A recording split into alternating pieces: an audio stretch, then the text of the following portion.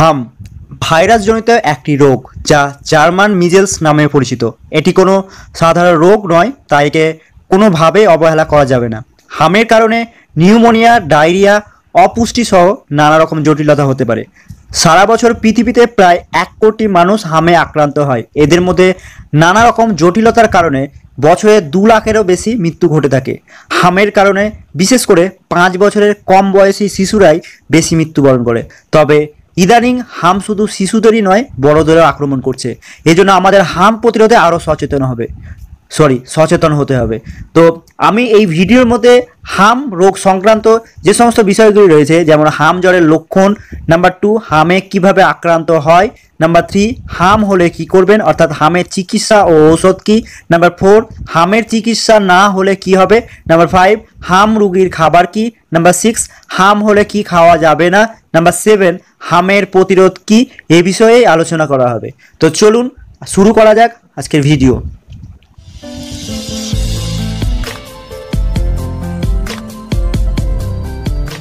So number one যে বিষয়টি রয়েছে, হাম জ্বরের লক্ষণ কি?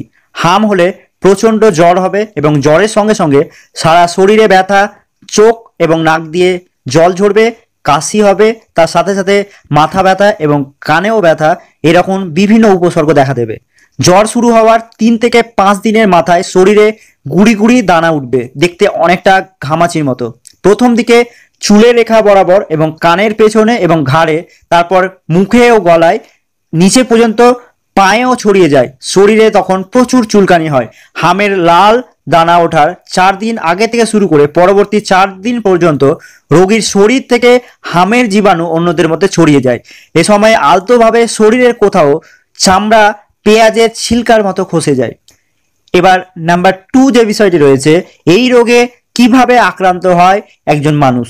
সাধারণত আক্রান্ত রোগীর, অর্থাৎ হামে যে রোগে আগে আক্রান্ত হয়েছে, তার হাঁচি এবং কাশির মাধ্যমে এর ভাইরাস আশেপাশের সুস্থ মানুষের শরীরে ছড়িয়ে পড়ে। আক্রান্ত ব্যক্তির কক্ষে যদি কেউ প্রবেশ করে, তাহলে সেখানে সুস্থ ব্যক্তিও হামের জীবাণু দ্বারা আক্রান্ত হবে। হামের র্যাশ ওঠার তিন দিন আগে এবং র্যাশ দেখা দেওয়ার ছয় দিন পর পর্যন্ত মূলত হাম ছড়িয়ে পড়ে। এই সময়ে কোনো শিশু হামে যদি আক্রান্ত হয়, তাহলে সেই শিশুর কাছে কোনো ব্যক্তি এলে তারও হাম হবে। তবে কাছাকাছি যে আসতে হবে, সে বিষয়টি নয়। কারণ হাম হয়েছে এমন ব্যক্তি, সে যদি সেই স্থান ছেড়ে চলেও যায়, তাহলেও তার হামের জীবাণু সেখানে বাতাসের মধ্যে এক ঘণ্টা পর্যন্ত সক্রিয় থাকে। তাহলে এসব বিষয়ে যদি সাবধানতা অবলম্বন করা যায়, তাহলেই একজন মানুষ হাম থেকে রেহাই পেতে পারে। এবার চলে যাব নাম্বার থ্রি বিষয়, হাম হলে কি করবেন? অর্থাৎ হামের চিকিৎসা এবং তার ঔষধ কী? তো হামের কোনো বিধিবদ্ধ অর্থাৎ বিশেষ কোনো চিকিৎসা নেই। রোগীকে বিশ্রাম দিতে হবে। এখানে কোনো রকম অবহেলা করা যাবে না। তবে এক্ষেত্রে অবশ্যই চিকিৎসকের পরামর্শ নিতে হবে। বেশিরভাগ ক্ষেত্রে শিশুরা সাত থেকে দশ দিনের মধ্যে সুস্থ হয়ে যায়। হামে আক্রান্ত রোগীকে নিয়মিত গোসল করাতে হবে আর একটু পর পর ভেজা তোয়ালে বা গামছা বা নরম কাপড় দিয়ে শরীর মুছে দিতে হবে। জ্বর কমানোর জন্য প্যারাসিটামল এবং গায়ে চুলকানির জন্য অ্যান্টিহিস্টামিন দেওয়া যেতে পারে। শিশুদের জন্য ভিটামিন এ ক্যাপসুল দেওয়া যেতে পারে তাদের বিষাদগ্রস্ততা কমানোর জন্য। এবার চলে যাব, চিকিৎসা যদি না হয় হামের, সেক্ষেত্রে কি হবে? নাম্বার ফোর বিষয়টি এটাই।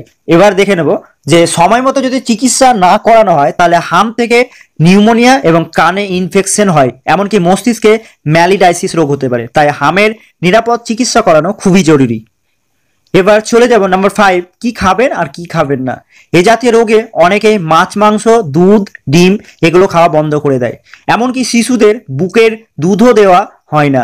এই সমস্ত কথা লোকমুখে প্রচলিত রয়েছে, তাই লোকমুখে প্রচলিত উপদেশগুলোকে মেনে আমরা কিন্তু প্রকৃতপক্ষে ভুলই করি। কারণ এতে শরীর দুর্বল হয়ে যায়, তাতে অপুষ্টি এবং রোগের যে যৌথ আক্রমণ, তাতে আমাদের শরীর এতটাই অসুস্থ হয়ে যায়, তাতে মৃত্যুবরণও হতে পারে।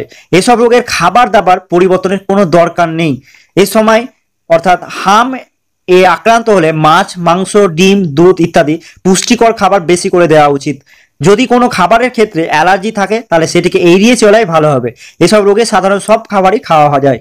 সময় মতো শিশু যেন পর্যাপ্ত পরিমাণে তরল খাবার খায় এবং শরীরে যাতে জলের কোনো শূন্যতা না দেখা যায়, সেদিকে অবশ্যই অবশ্যই খেয়াল রাখতে হবে। তবে অনেক সময় রোগের ব্যাপ্তি, খাদ্যনালীর অভ্যন্তর পর পর্যন্ত যদি ছড়িয়ে যায়, তাহলে এই ক্ষেত্রে শক্ত খাবার দেওয়া যাবে না। নরম খাবার বা তরল খাবার দিতে হবে। নাম্বার সিক্স যে বিষয়টি রয়েছে, হামের প্রতিরোধ কি?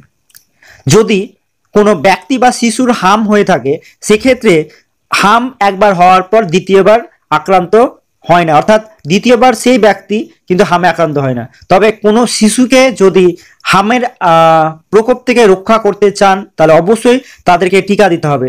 তবে একটা শিশুর নয় মাস পূর্ণ হওয়ার পর দশ মাস পড়লেই তাদেরকে হামের টিকা দেওয়া যায়। তো ভিডিওটিকে আপনাদের কেমন লাগল অবশ্যই কমেন্ট করে জানাবেন, আর একটা লাইক দেবেন। সাথে সাথে শেয়ার করে অন্যান্য বন্ধুদের জানার সুযোগ করে দেবেন। আর এরকম টাইপের হেলথ রিলেটেড ভিডিওগুলোকে পেতে আপনাকে অবশ্যই এই চ্যানেলটিকে সাবস্ক্রাইব করে রাখতে হবে। আর চ্যানেলটিকে সাবস্ক্রাইব করতে হলে এই ভিডিওর নিচের লাল সাবস্ক্রাইব বাটনে অবশ্যই ক্লিক করবেন এবং সাথে সাথে পাশের বেল আইকনটিও দাবিয়ে রাখবেন যাতে এরকম এডুকেশন এবং হেলথ রিলেটেড ভিডিওগুলো পেলে তার নোটিফিকেশন আপনি প্রথমে পেয়ে যাবেন।